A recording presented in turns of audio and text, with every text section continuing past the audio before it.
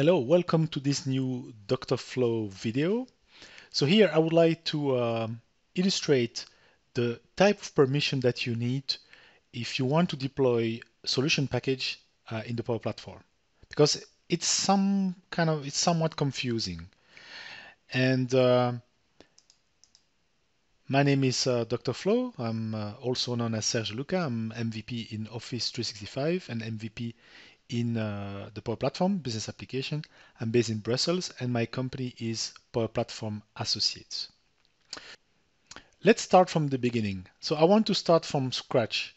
Uh, so I will create an environment so with my identity. So my identity, Serge Luca, is Power Platform Administrator. Um, I'm going to create a new environment production demo, something like that. It's going to be a production environment in Europe. I want a database and uh, the language will be uh, English. Save. So let's go and see you in a couple of minutes. Okay, now uh, the production demo environment has been created and uh, let's switch to a Brian C account.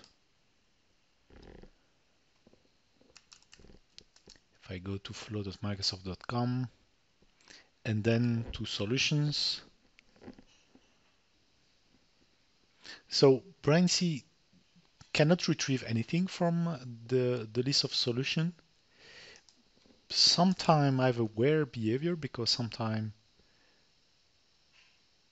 Brian C can still see something. So now let's get back to uh, the platform administrator. And what I'm going to do is I'm going to um, first create a solution. Okay, so let's go to my production demo environment. I will create a quick and dirty solution. Demo test solution. Publisher is this guy. Create.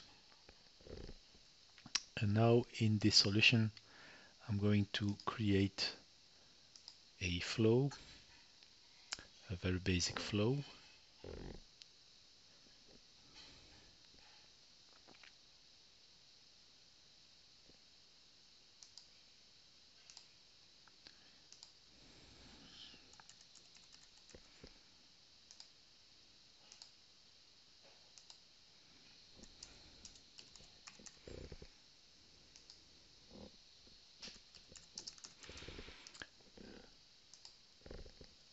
Save it.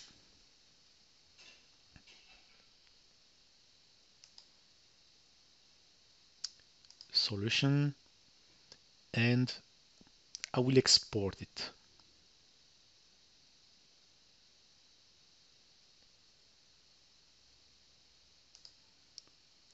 Export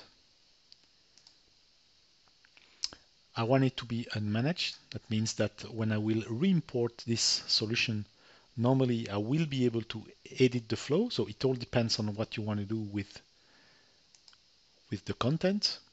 The good practice is to, uh, to export it as manage, but then user won't be able to edit the flow. So we have business, citizen developers, that could be a problem. Okay, so the solution has been downloaded. Now I can delete it from the environment. So I'm the platform administrator. And uh, now I'm going to um, switch back to Brian C account, so Brian C. So Brian doesn't have any permission. As you can see here, now the list of solutions show up, uh, and Brian C. Uh, Brian C can see the list of solutions in the environment, which is a bit weird because Brian C doesn't have any permission. Anyway, so I will import a new, well, my existing solution. So normally it should not work. Demo test solution is this one.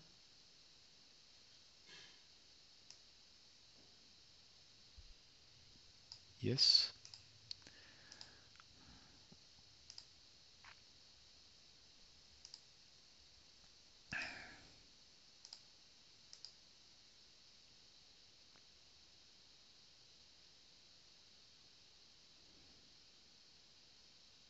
Okay, so Brian C doesn't have permission to uh, to import that guy. Let's go back to the Power Platform administrator, and then if you go to um, the Power Platform Admin Center for the environment, click on Settings and select Brian C. Users, Brian C, and then the role we can try. Which one work? Is the environment maker. I don't like this name because the name is very confusing. Environment maker is supposed to mean that the user can create environment, but environment maker in the Power Platform means that the user uh, can create resource, can create flow, can create apps, can create connection, can create custom connectors. Okay. And if I assign environment maker permission to Brian C, and if I wait a little bit, I wait a little bit to make sure that the permission has been uh, attributed to Brian C. Now, if I switch back to Brian C, um, let's refresh that guy. And so I'm Brian C. Okay. And I'm going to import the uh, custom solution in production demo environment. So import, choose file, demo test solution.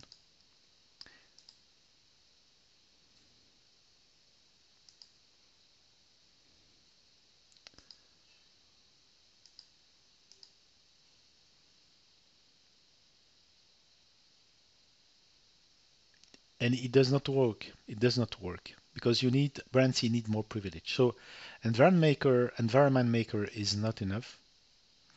And basically what you need, what we need for Brian C, let's get back to Power Platform admin. What I need is, so let's remove environment maker. I need system customizer. So let's assign this permission. Let's wait a little bit to make sure that the permission is really be assigned. So it's not uh, always instant. So if I switch back to Brian C now, let's refresh.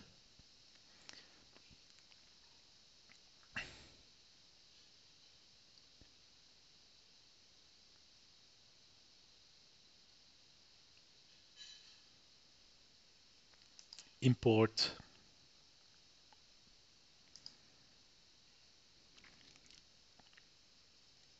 demo test solution.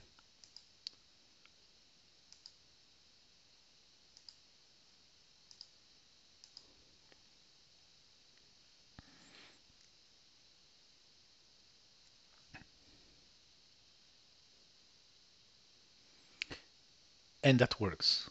Okay, so system customizer is probably the best uh, option for user who are supposed to be able to import a solution.